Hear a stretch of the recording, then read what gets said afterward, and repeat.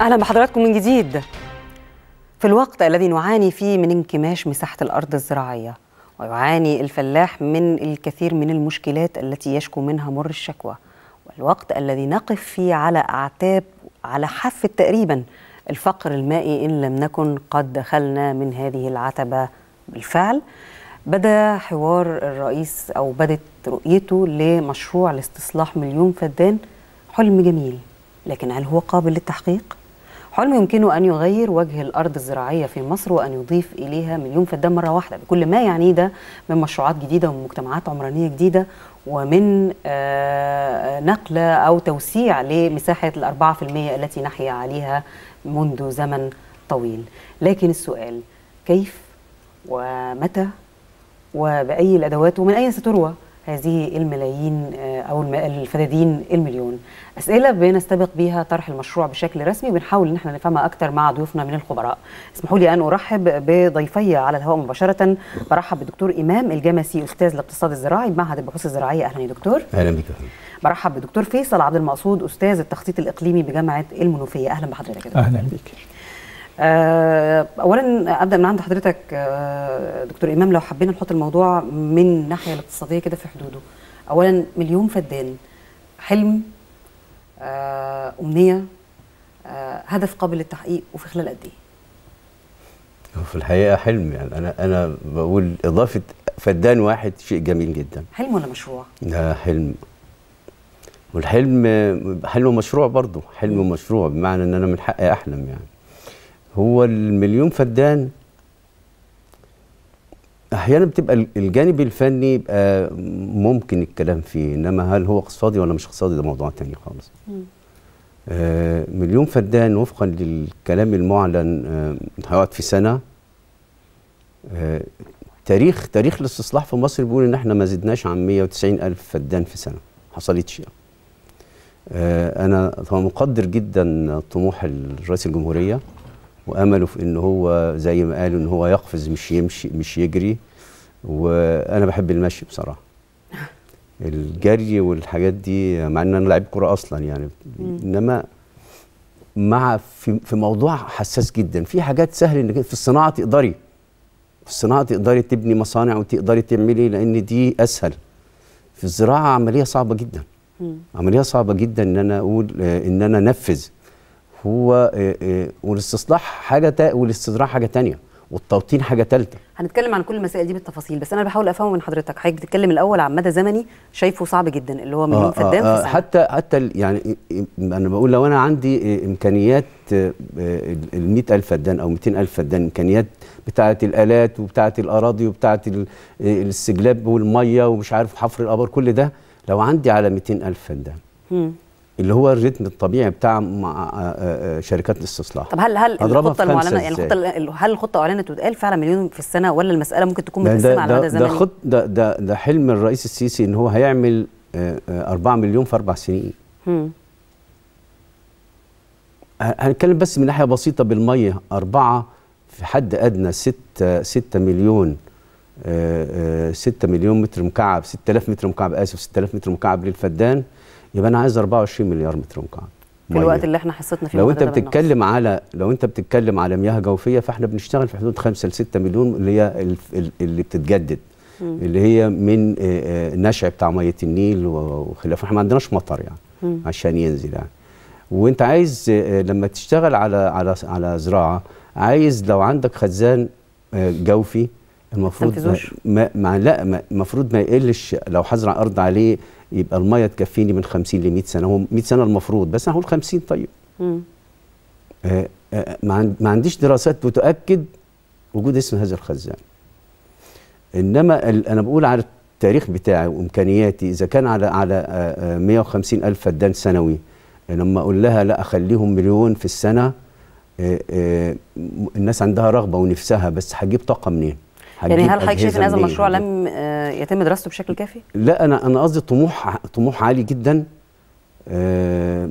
أنا أعتقد إن في اتجاه إن الجيش يمهد الأرض والحاجات دي كلها. بس أنا كده بستنفذ الجيش في حاجات يعني وبعدين؟ طب والمية؟ وبعدين؟ طيب والطرق؟ وبعدين؟ طب مش عارف لما يقول إن أنا الفدان هيكلفني 150 ألف جنيه ده كتير جدا. الفدان 150 ألف جنيه دي وفقا التكلفه للمعلن ده كتير جدا. التكلفة العادية لاستصلاح الفدان أنا بقول لك 15000 يوم ما بتكتر قوي تبقى 30000 جنيه 30000 جنيه للفدان يتزرع. يمكن يعني هل ده بالنظر لطبيعة الأرض نفسها مثلا؟ أعتقد إن هم باصين لكده لأن أنا أعرف إن مثلا في في الوادي الجديد لما بتبقى في أحيانا ينابيع بت- بتطلع لوحدها ميه كتيرة جدا واحيانا لما تيجي تدق بير بياخد بيبقى في عمق في حدود 1000 متر. هيكلف كتير جدا عشان يزرع لي 20 30 فدان. طب الحقيقة إحنا نرجع تاني موضوع الاقتصادي بس أنا برضو عايزة أفهم حاجة تانية من ناحية برضو ليست بعيدة عن الاقتصاد. مشروع مشروعات إنشاء مجتمعات جديدة هي مسألة ما هياش آه، جديدة بس كمان التجارب اللي اتعملت ما هياش كتير قوي. إحنا عندنا تجربة ممكن نقدر نقيس عليها تجربة مديرية التحرير اللي اتعملت في أيام عبد الناصر واللي نقلت مجموعة من وطنت فعلا الناس وعملت مجتمع جديد. هل وإحنا بنتكلم عن مليون فدان إحنا بنتكلم عن تكرار آه، أو مديريات جديدة للتحرير لو جاز التعبير؟ طيب بس اسمحي لي في الأول قبل ما نسيب النقطة دي لأن هي كل كلامنا مرتبط بالمية. فأنا يعني في قدر معلوماتي إن المشروع 4 مليون فدان المرحلة الأولى اللي هي المليون فدان تم دراسة كميات المياه واتعملت خرائط آه، بتوافر المياه الجوفية للمليون فدان. الأربعة مليون دولت كأراضي. المية مدروسة على المليون فدان. تم تدقيق ال- المية للمليون فدان. بالظبط مليون ومئتين ألف أو مليون ومية وخمسين ألف حاجة كده يعني فالمرحلة الأولى ده هي طبقا للدراسات بتاعت معهد بحوث الري ودهيت مدققة واتعرضت علينا خرائط الحقيقة في آه، يعني هو بالصدفة إن إحنا بنعمل المشروع للتنمية الشاملة للوادي الجديد بما فيها بقى المناطق بتاعة الفرافرة والدخلة والحاجات دهيت اللي فيها كده. وكان معانا المسؤولين بتوع بحوث الري واكدوا إن كمياه بالنسبة للمليون كافية. موجودة. علشان نقول الأربعة مليون دي محتاجة تدقيق أكتر وآبار استكشافية أكتر عشان نتأكد من المياه. فدي كانت نقطة لازم يعني بس نقولها في بالنسبة لموضوع المياه بالنسبة للمجتمعات ال- العمرانية الجديدة طبعا مديرية التحرير دي من التجارب الرائدة والتجارب الجيدة جدا اللي هي إحنا مرينا فيها في في مجال استصلاح الأراضي وفي اللي هي بتكون نواة لإنشاء السؤال مجتمعات ليه, ليه, ما جديدة اتكررتش يعني التجارب اللي بعد كده يعني مثلا سمعنا عن مشروعات لم يكتب لها النجاح زي توشكا مثلا. يعني ما تحولتش ما, كان ما تحولتش لنفس النموذج لا الناجح. يعني في فرق كبير جدا حضرتك يعني لما نتكلم عن مديرية التحرير اللي بينها وبين اسكندرية آه، 70 80 كيلو مثلا وبين إحنا معانا توشكا الخرائط اللي حضرتك أشرت لبعضها آه. اللي هي بتاعت ال- المياه يعني في مجموعة خرائط زي ما بقول لحضرتك دي الخرائط الخاصة بالمناطق بتاعت آه المناطق توزيع المناطق وكل واحدة فيها كم إحنا فدان عندنا المناطق اللي هيتوزع عليها المليون. فدان آه توشكا بمساحة 108 ألف فدان آه بتروى بالمياه السطحية.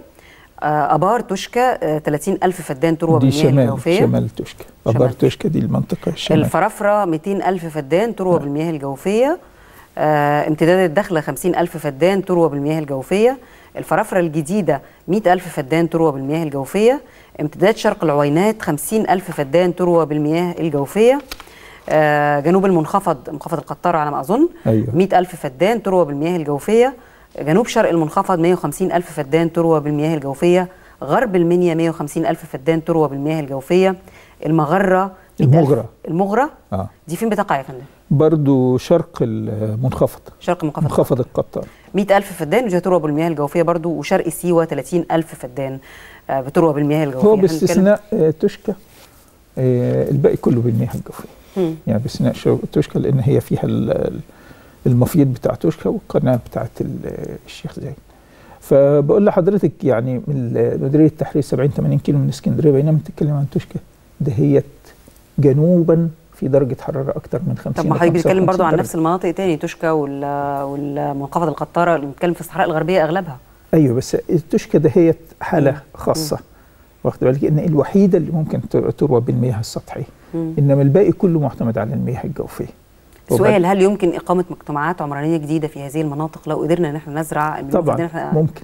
ممكن إقامة آه. مجتمع جديد ومين قال؟ يعني هو السؤال اللي إحنا لازم نسأله. مين قال إن لما يبقى عندي مياه جوفية يجب إن أنا أوجهها كلها للاستزراع مم. أنا ممكن أعمل مجتمعات عمرانية جديدة على أنشطة عمرانية على صناعة على آه، آه، على سياحة على أنشطة تجارية على أنشطة يعني مختلف الأنشطة بما فيها جزئيه هي الزراعة. هل هل إنما لا يمكن إن الزراعة تكون هي النشاط الوحيد اللي أنا أقول هي مرتبطة بالتجمعات العمرانية. دكتور يعني هل المياه الجوفيه الموجوده في هذه المنطقة تكفي لإقامة الأنشطة الزراعيه وفي نفس الوقت استخدام حياة وإنشاء مدن آه، جديدة؟ هو هو ده فكرة التوطين لو أنا الهدف الرئيسي بتاعي إن أنا أعمل مجتمعات جديدة مش بالضرورة زي ما قال الدكتور إنها تقوم على الزراعة ممكن تقوم على أنشطة تانية إنما فكرة إن أنا أحقق آه، آه، اكتفاء احقق ذاتي. آه اكتفاء ذاتي وأحقق أمن غذائي والحاجات دي كلها قصة مختلفة شوية. وبالتالي أنا عايز أقول اللي أنا أعرفه اللي أنا أعرفه معلوماتي إن كل اللي في مصر 5 ل 6 مليار متر مكعب مياه جوفية سنويا متجددة. غير المتجدد اللي هي الخزانات زي خزان النوبي والحاجات دي كلها محدش يعرف بالظبط في قد إيه. كلام كتير. وهو متداخل مع مع السودان متداخل مع ليبيا عايز متداخل مع أف- أفهم نقطة فنيه بس يا فندم. استكشاف كمية المياه الجوفية هل دي مسألة بتتم بالاقمار الاستكشافية زي ما حضرتك قلت ولا الأقمار الصناعية مش أنا قلت؟ أخبار استكشاف، بس في حاجات في الاستشعار عن بعد وفي مجسات بتتعمل. مش دلوقتي في أجهزة بيحطها على الأرض ويقول له والله المية على عمق كذا و... وت... لأنه بياخد مش مش مجرد العمق اللي مثلا سي 100 متر إن هو حي... هيحفر ال 100 متر بس. ده بياخد ضعفهم. مم. عشان ياخد المية. يعني بالتالي لكن العملية المهم- سهل معرفتها ما هياش لا مسألة سهل آه، معرفه لا سهل بس سهل. قد إيه تقعد؟ آه. ده هو المشكلة. لأنك تعملي ابار ساعات تقعد 10 سنين كويسة جدا وأنت ملح. يملح؟ آه لأن خلاص المية خلصت فاللي بيطلع لك من اللي باقي فيها ملح. مم. فانا مريت بتجربة زي دي ليه؟ هنا في, منطقة قريبة هنا في في في آه، غا اسمها أرض غالب دي هنا. في قصاد سينما قصاد سجن القطه وبتاخد من الرياح الناصري بعد سبع ثمان سنين قعدنا كل شوية ننقل من الحتة دي للحتة دي لحد ما باظت خالص. فهي في الأول المياه بتطلع ميه رهيبة جدا. لا عايزة عايزة تأكيد عايزة دراسات تأكيدية آه، متعمقة جدا إنك تأكد الميه هتكفي قد إيه. إنك ممكن تنفق أموال طائلة جدا وبعد فترة تلاقي كل ده راح. يعني كان عندي حضرتك عندي عندي حضرتك تعمل جناين. في في, المعهد البحوث الزراعية التابع لوزارة الزراعة. مم. هل توفرت لكم دراسات؟ هل اطلعتم على أي بحوث؟ معهد؟ بحوث الأراضي بيعمل الكلام ده. مش إحنا معهد بحوث اقتصاد. معهد بحوث الأراضي تبع المركز بيعمل الدراسات دي وعنده دراسات كافية. بس أنا بقول إحنا كل المجمل لما تمسكي موارد ال ال ال إحنا بنزرع بنستخدم كام؟ بنستخدم حوالي 70 مليار متر مكعب منهم 55 المياه المتجددة العذبه و5 مليار من من من المياه الجوفية والباقي آه، آه، بتاع آه، مياه صرف زراعي بتتخلط مع مياه أو بتزرع بيها كده. يعني أنا كغير متخصصة اللي وصلني من كلام حضرتك دلوقتي إنك غير متفائل بالمشروع وإنك شايف إن هو طموح أكثر من طموح أكثر من اللازم أو من من قدراتنا الموجودة على ال- على تحقيقه. فهذا الانطباع ده صحيح لا ولا؟ هو هو في جزء بيقول إيه وفقا لل- للدراسات. بتقول أنت ممكن تزرع يعني توفر مية المليون الأولانية. هتبقى يعني فيها صعوبة شوية لكن ممكن تعمل لكن الثلاثه التانيين منين؟ في بعد تاني مهم جدا لازم اللي بيتكلم يفكر فيه. إحنا عندنا مشكلة مع إثيوبيا بتقول إحنا بنستند إن إحنا ما عندناش مية. هتستصلح عايز 24 مليار متر مكعب مية يبقى أنت عندك مية. يعني البعد ده غايب ليه؟ وإذا كنت عامل ده عمال أعمل الضجة دي ليه؟ أنا عندي مشكله مع اثيوبيا. المشكلة يعني بتاعتي حتى أنا بقول أنا عندي مشكله معاك لأن أنا مش عارف اعمل عاوز عاوز ازود الأرض الزراعيه بتاعتي لأن أنا عندي عدد سكان بيزيد. أنا في خط فقر مائي في نزلنا عن 500 600 آه، آه، متر مكعب للفرد في, في السنة. المفروض يبقى عندي 1000 عندي وعندي وعندي وعندي وبعدين هعمل 4 مليون فدان دكتور هل حضرتك بتشارك الدكتور آه إمام في رؤيته حوالين هذا المشروع ولا حضرتك لا نهائي. الكلام اللي إحنا بنتكلمه الكلام ده إن أنا هزرع قمح وهزرع آه، المحاصيل التقليدية والحاجات دي. دلوقتي الوادي الجديد والصحراء عندما نفكر فيها وفي تعميرها يجب أن يتم التفكير فيها بمنطق مختلف. إزاي؟ مختلف عن مديرية التحرير ومختلف عن أي حاجة. دلوقتي هذه المناطق يجب إن إحنا عندما نفكر فيها نفكر فيها في زراعات غير تقليدية. وبأساليب غير تقليدية وبتقنيات غير تقليدية بحيث ان أنا أعظم العائد من نقطة المية. الري يجب أن يكون بطرق مختلفة التركيب المحصولي تركيب مختلف ومين قال إن لما المية تملح ان أنا أبقى فقدت البير؟ الكلام ده اتعملت عليه دراسات ومقدمة إلينا. يعني أنا ممكن جدا بالمية الملاحة أزرع بعض أنواع مش قمح. ومش شعير ومش ذرة إنما أنا ممكن أزرع حاجات للوقود الحيوي مثلا. بالب- تتحمل المياه الملح. ممكن إن أنا أستخدمها في الاستزراع السمكي. يعني اللي أنا عايز معترض أقوله على الكلام آه لا ممكن طبعا. يعني أنا ما هي أنا الكلام مش هقول معترض له على له. وجهات له وجهات نظر مختلفة يعني. إنما إحنا عندما نواجه إحنا مشكلتنا غير تقليدية مشكلة مصر غير تقليدية. طب أنا عايز أسأل سؤال يعني طب بس خليني الحتة اتفضل. دي إذا واجهناها بالأساليب التقليدية يبقى لن لن نفلح في حلها. إذا واجهناها بأساليب غير تقليدية وبنظرة مختلفة عما كان يتم التعامل به يبقى هنا في أمل إن إحنا نصل اللي إحنا عايزينه.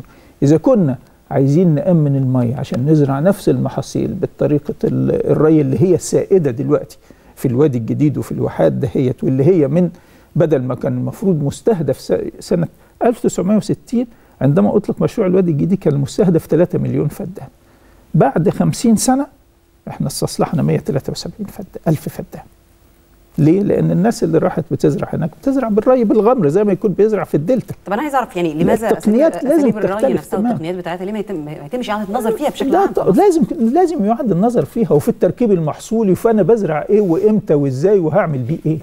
ده دي دي الأساس. وبعدين زي ما بقول لحضرتك كده يعني أنا مش هتكلم أو مش هقول دراسات. إحنا كنا قاعدين في ندوة عن منخفض القطار وقاعدين بنتكلم نفس الكلام ده وبتاع وبعدين جت سيرة المياه المالحة فجه آه، أستاذ آه، من الأساتذة الدكاترة اللي إحنا بنتكلم فيهم قال أنا مش هرد عليكم. مدد ايده مطلع لنا طماطم من الكيس بتاعه. قال ده مزروع على البير اللي أنتوا حضراتكم قاعدين بتقولوا إنه مالح. إن دهوت مالح. فالكلام ده مش موجود. لازم نغير هذا الفكر تماما. خلص عندنا مية عندنا هنست... هنستهلكها لحد ما البير هيملح. بعد كده له دور في زراعة نوعيات أخرى وله دور في استزراع سمك. حضرتك بتتكلم على مدى زمني قد إيه تقريبا؟ لا عادة البير يعني عادة إحنا لما نتكلم على إن في إمكانية للاستصلاح أو حاجة كده إحنا بنتكلم في حدود من خم- 50 سنة. يعني عشان بعد كده هوت وإلا مش هتبقى في تنمية يبقى حاجة وقتية. بالظبط. ولكن في ال 50 سنة منسوب البير مش هيفضل زي ما هو. درجة التملح بتاعته مش هتفضل زي ما هو لأن أنا بسحب منه. فيبقى هنا هوت في استخدام مختلف وبصور مختلفة عن الاستخدام الأصلي.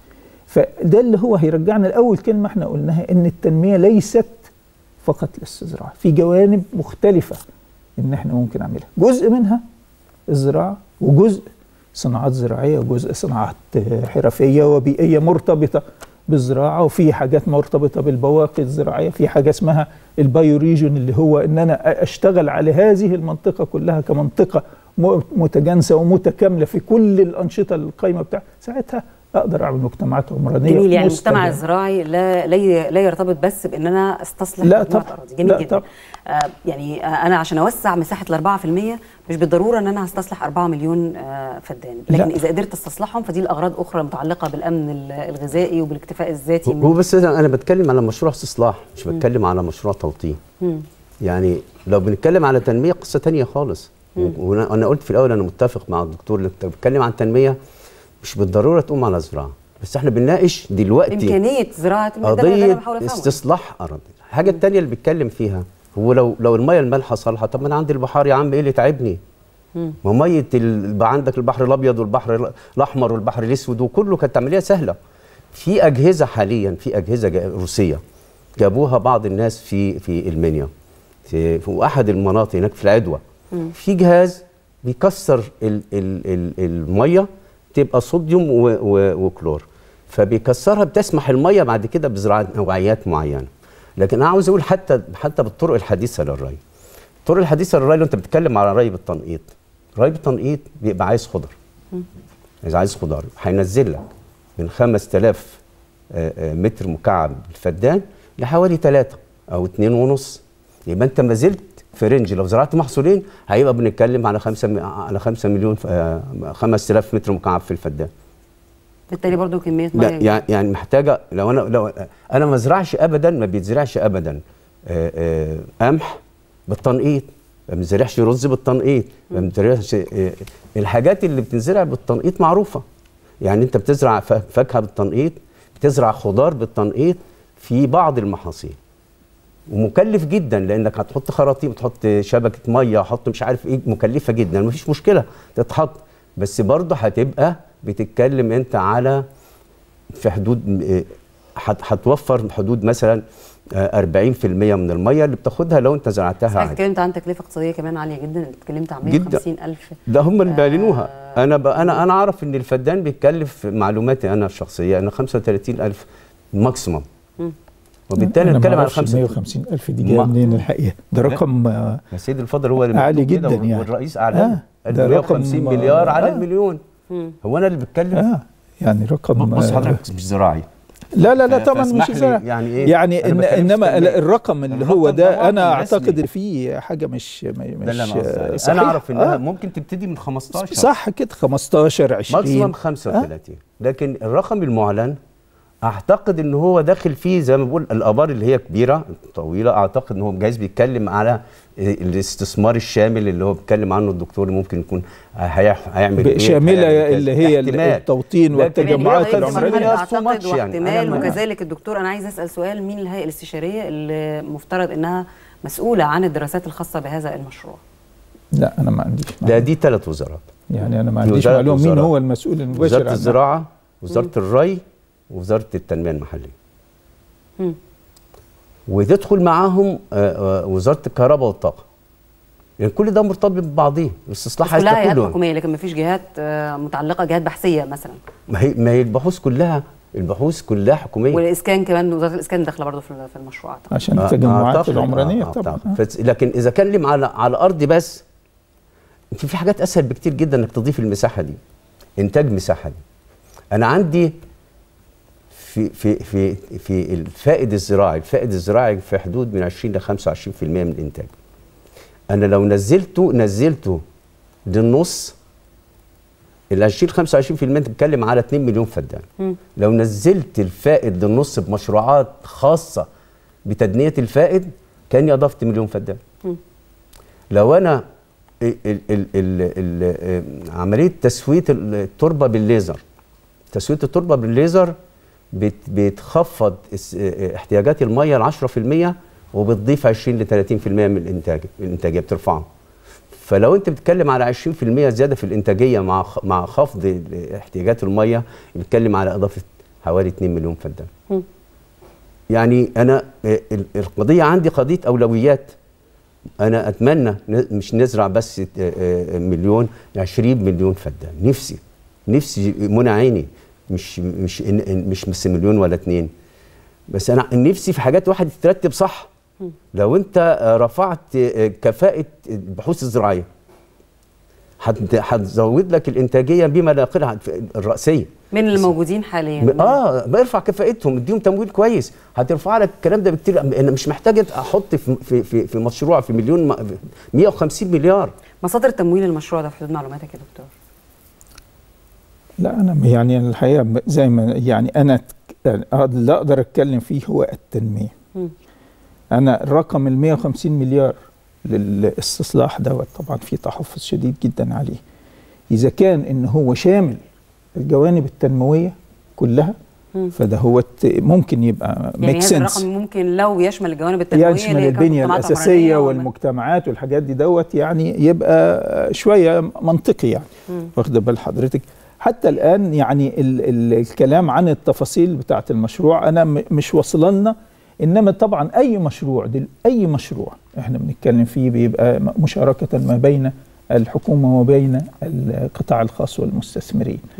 والتوجهات إن هي طب يعني هل المشروع ده هيبقى الحكومة بس ولا في قطاع لا خاص؟ لا لا طبعا مش ممكن الحكومة بس. طب إذا كان في. قطاع خاص إيه مين اللي بيتوفر المعلومات من القطاع الخاص؟ مين يعني الحقيقة في أسئلة كتير وعلامات استفهام كتير. طبعا في في أسئلة آه، كتيره يعني و- القطاع الخاص حضرتك لو بتمثل قطاع خاص هتشارك إزاي وأنت ما عندكش تفاصيل؟ لازم يبقى في ترويج للمشروع مع القطاع الخاص والمستثمرين.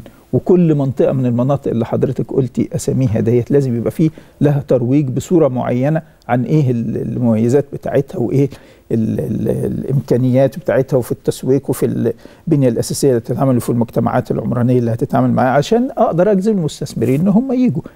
إنما أنا الحقيقة برضو عايز أرجع لنقطة مهمة جدا آه، قالها دكتور. آه، الدكتور اللي هي موضوع المية المالحة. وإذا إحنا بنتكلم على مية مالحة وعندنا البحر الأبيض والبحر الأحمر ففعلا في مشروعات للزراعة وعندنا مشروعات في جبل الزيت جاهزة. إن هي يتم استزراع بالمياه المالحه فهو ده اللي هو على ال- البحر الأحمر. الت- فدلوقتي ده هو المستقبل. ده هو المستقبل. إن أنا أزرع بميه مالحة إن أنا أحلي مية البحر عشان أخرج. أعتقد في مشروعات كتير طبعا طبعا موجودة في في, تجارب. بيحلوا هم الأول. لا ده وفي. لا لا ما هو ده الكلام. إن هو ليس بالضرورة إن أنا أحلي الميه ولكن أستخدم المياه المالحة. هو ده هو الكلام وفي تجربات لا نهائية وفي أفريقيا وفي المكسيك وفي في أمريكا الجنوبية ومعروضة. دي نجحت يبقى إحنا ما عندناش مشكلة أنا خالص. بقول ولا العالم هذا هو هذا هو المستقبل اللي إحنا لازم نفكر فيه إن إحنا ال ال ال التوجه ناحية التقنيات الجديدة الغير تقليدية والغير مطبقة. وما نخافش يعني هل حضرتك شايف إن هذا المشروع يندرج تحت فكرة التقنيات الجديدة والغير مطبقة؟ ولا هو مشروع تقليدي لا بيحاول؟ لو تم تقليدي لن يتم له النجاح. لو تم بصورة غير تقليدية يبقى في أمل كبير جدا ان يكتب له طيب النجاح. خلينا نتجاوز قليلا دكتور إمام عن بعض التفاصيل اللي هي غير مجاب عنها لغاية دلوقتي. المشروع لم يعلن بشكل نهائي ويمكن التفاصيل دي لما يعلن المشروع تبقى على الأقل واضحة بشكل أكبر. لكن لو اتكلمنا باعتبار إن تم توفير الموارد ال- المادية والموارد المائية الخاصة بذلك لو اتكلمنا مثلا عن العمالة اللي هيستوعبها هذا المشروع لما بنتكلم عن هذا العدد من ال 30 مليون فدان وفي المناطق بعينها هل ده معناه إن إحنا فعلا بنغير التركيبة السكانية بننقل آه عمالة مش لو حد؟ راح ما إحنا بنسأل بقول لحضرتك حاجة إحنا عندنا في توشكا مم.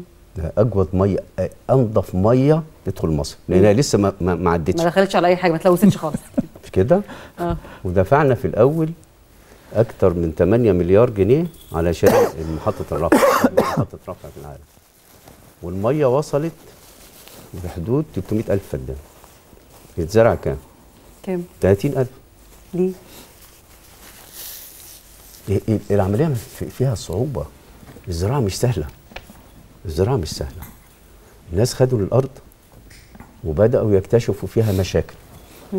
واحد يقول لا ده أنا لقيت الأرض فيها صخور. بعد ما تنزلي 10 سنتي تلاقي فيه صخور. آه واحد واخد الأرض ومش مش لاقي عمال. مم. لأن المنطقة هناك زي ما قال الدكتور حرارة عالية جدا. حرارة عالية جدا وكمان بعيدة عن أقرب أنا أنا هزرع عشان أو- عشان أستهلك مش كده؟ مش العكس. صحيح. يعني أنا الهدف الرئيسي إن أنا أزرع عشان الناس تستهلكه أو تستخدمه. صحيح. لازم اوفر على الأقل خطوط تواصل على طيب مع الاسواق أنا عندي أقرب مدينة لتوشكا آه، أسوان أعتقد على بعد 300 360 كيلو. مم. لو أنت نقلتي من هناك لحد آه، آه، توشكا لحد أسوان أقرب أقرب سكان فتكلفة النقل عالية جدا. مم. والفائد هيبقى عالي لأن أنا أحتاج في النقل مبردات صحيح وإحنا كنا اقترحنا لأن أنا اشتغلت على توشكا فترة كنا اقترحنا إن هم يعملوا قطر بضاعة من آه، من هناك لحد من توشكا لحد أسوان كله مبرد ما عدا نحطه بس للركاب آه، آه، آه، عربية أو عربية. واحدة اتنين. لكن الباقي كله يبقى كده واقترحنا إنك تعمل مناطق تخزين مبرده مم. علشان اللي ينتج حاجة يحطها عشان ما تبصي. وليه ما يبقاش في مناطق تصنيع يا دكتور تصنع ماشي ما هو وتعبئه و... كل ده موجود بس أنا عشان الإنتاج اضمانه أخ- أحافظ عليه. في هذا الكلام. مم. إنما فكرة ال technology فكرة واردة للناس كلها. يعني محدش بيعترض على إنك تستخدم أحدث technology. بس أنت هتنقله؟ وتشوفه صالح للمنطقة دي ولا لأ؟ هو راجل أستاذ تنمية عارف إن أنا لازم أعمل ال adaptation بتاع ال- التكيف بتاع ال- ال- ال technology معايا.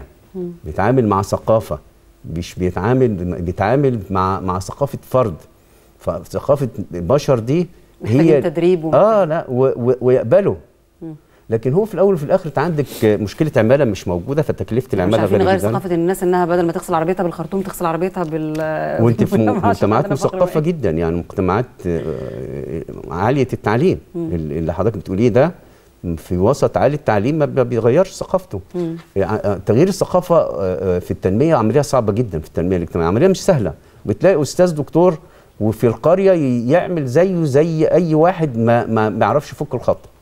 لأن هو ثقافة كده. فعملية عايز صعبة جدا. لكن أنا بقول إحنا عملنا آه، آه، 360 ألف فدان في توشكا المية جاهزة. وأن وأنقى ميه مية هتدخل هتدخل مصر لانها أول مية بتدخل أو أول مكان بيدخل ليه. وما, وما زرعناش إلا 37 ألف فدان 30 ل 37 ألف فدان الكلام ده بقى له قد إيه؟ طب هل هل الكلام ده يعني يعني أنا بفترض طبعا إن المشروع بتاع المليون فدان قبل ما يطرحه الرئيس إن هو في عنده أكيد جهات استشارية وفي خبراء رجع لهم. لكن هل أتيحت كل الآراء المختلفة؟ هل آه إذا كان حضرتك أو الدكتور أو أي من الخبراء لديه آه تحفظات أو أسئلة أو علامات استفهام وحضراتكم الخبراء هل في أي طريقة لتوصيل آه أو للتباحث مع الجهات الأخرى؟ يعني هل المسألة طرحت للنقاش العلمي ولا لا؟ يعني المسألة كمشروع للاستصلاح ما بالنسبة لنا لم يطرح ولكن إحنا ساهمنا فيها بصورة غير مباشرة زي ما بقول لحضرتك.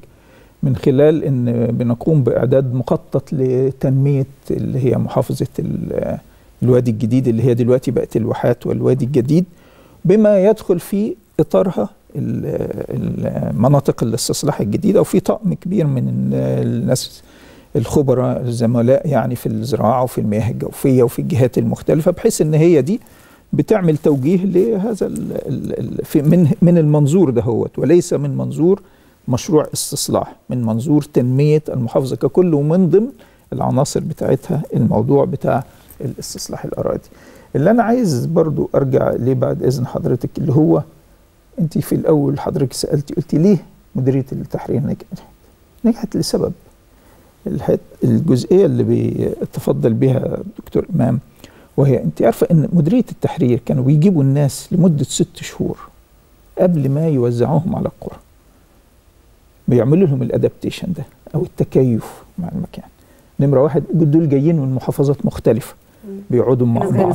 بيبقى. بيبقى تآلف وإن هم يبدأوا يتعارفوا مع بعض وتروح حتة العصبية والحتة ده نمرة اتنين إن هم بي بي بيخلوهم يتوافقوا مع ال- technology اللي كانت سائده في بتاع اللي هو لما دخل الجرار مثلا بدايات إن يبقى الجرار موجود في الخمسينات والحاجات دي وإزاي إن هو يعمل له الصيانة البسيطة والحاجات ديت كلها بحيث إن هو لما يروح ويستلم الأرض يبقى بقى في مجتمع متوافق مع بعض ومتكيف مع بعض وفي نفس الوقت بقى حصل إيه؟ تآلف مع المكان مين مين والحاجات ال- دي يعني مين كان في أكيد جهة منوطه بده في الغالب كانت هي أو التحرير. المديرية اللي هي كان لها كيان شبه مستقل يعني هل هل ده متوفر للمشروعات الجديدة؟ دلوقتي ما بيتعملش كده. أنا هد- هدي لحضرتك بقى المثال الثاني.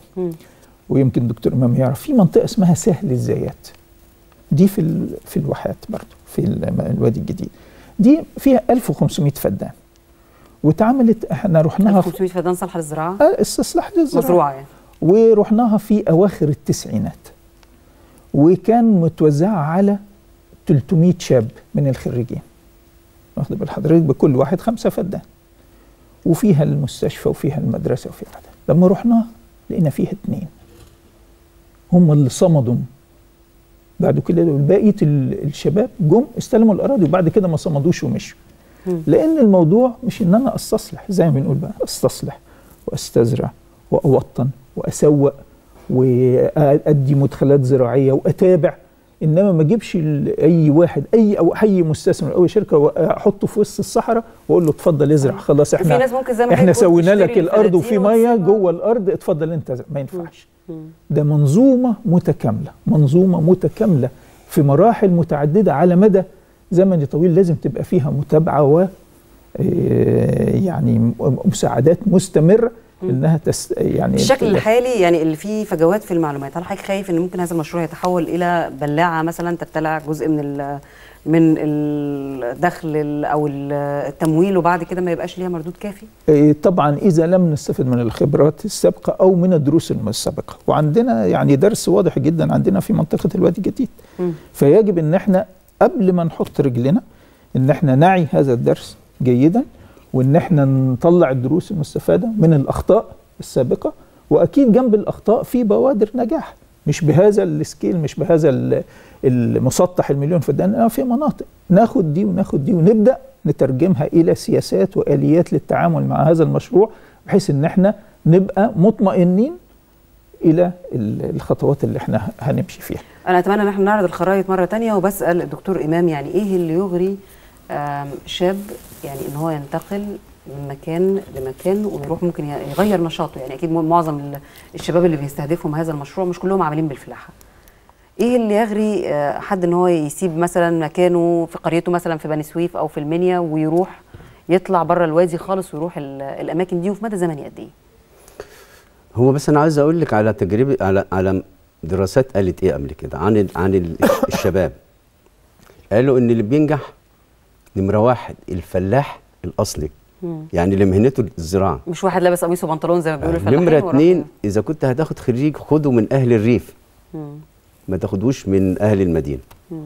يعني أهل الريف هو بشكل أو بآخر لو لو بس مهندس الانتباه ده الشكل المقترح مفترض إن هو هيبقى شكل البيوت في هذا المكان وده الشكل المعماري اللي هيبقى موجود هناك.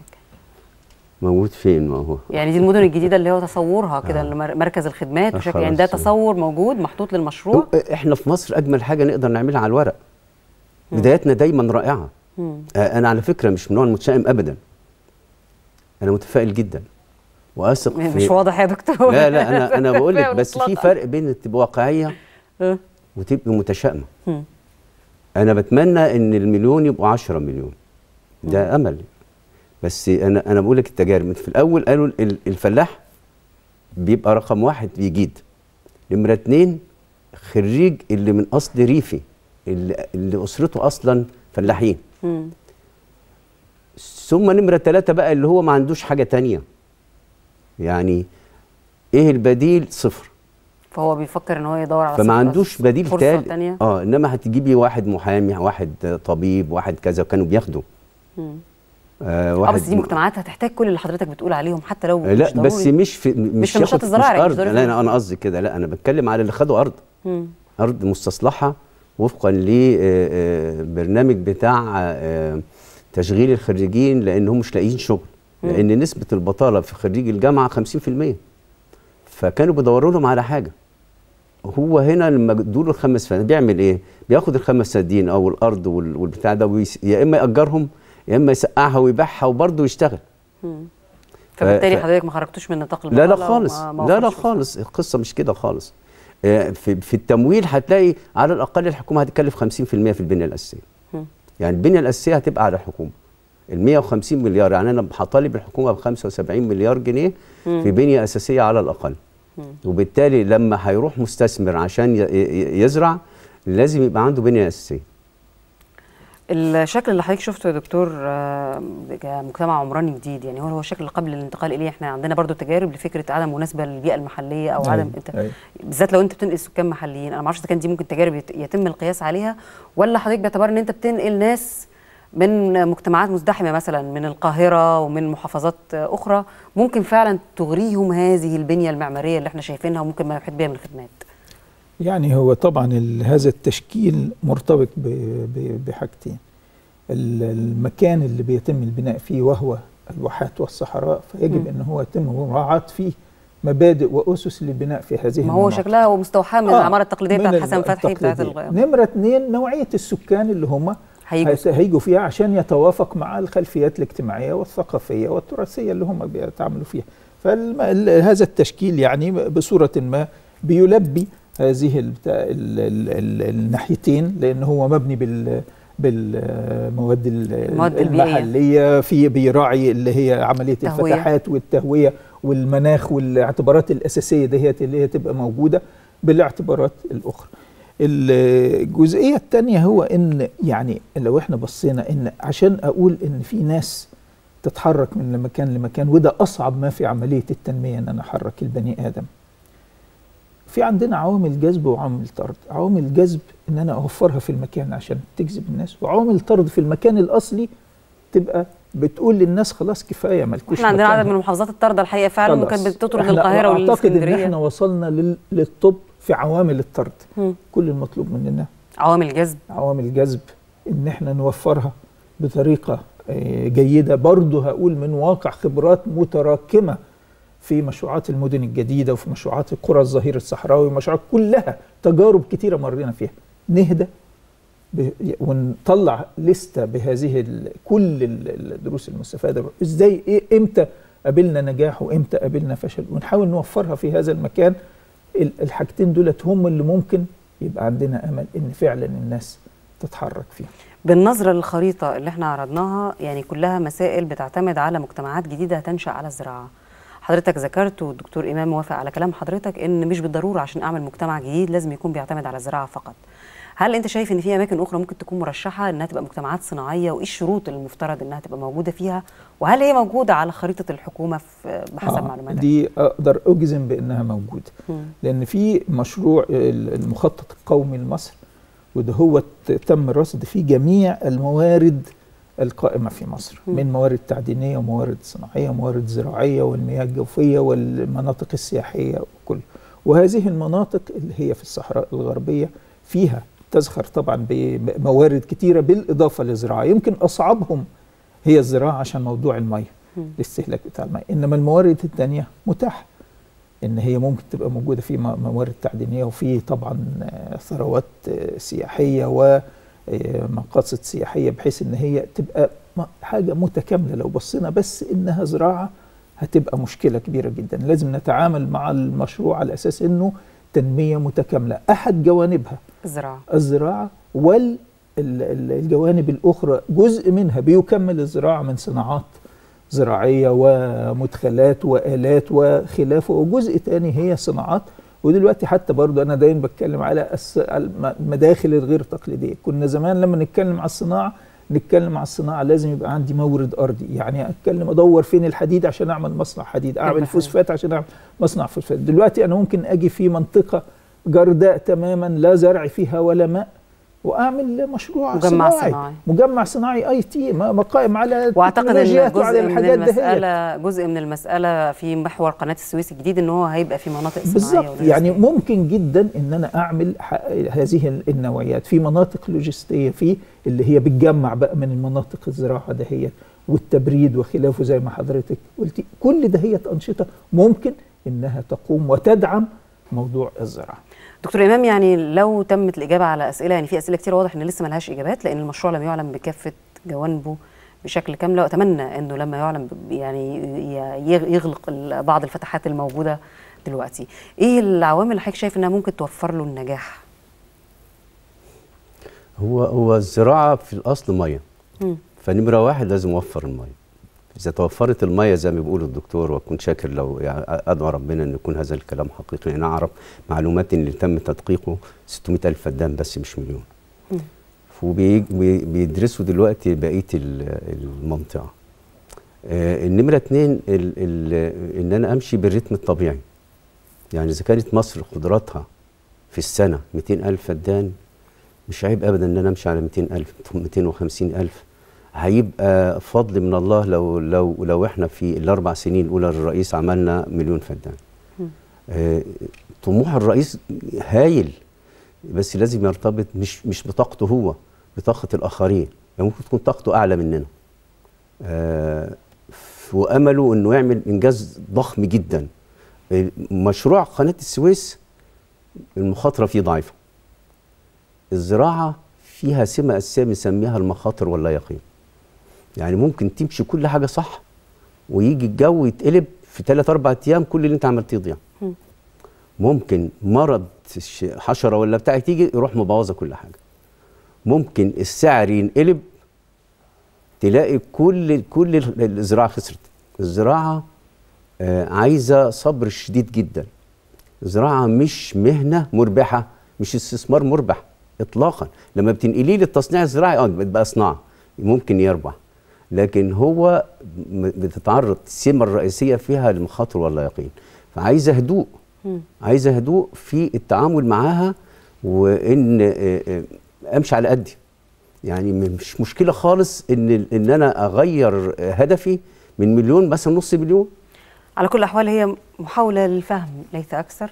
محاولة لتقديم أو لإيضاح كل وجهات النظر فيما يتعلق بمشروع لم تتضح جوانبه فقط. إذا تم هيبقى حلم كبير ويتحقق.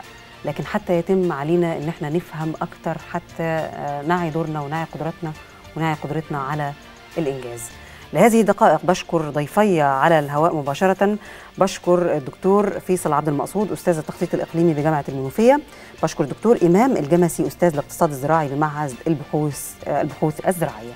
مشاهدينا عام من عمر البرنامج ومن عمرنا بنستعرضه مع حضراتكم بعد هذه الوقفة القصيرة. ابقوا معنا.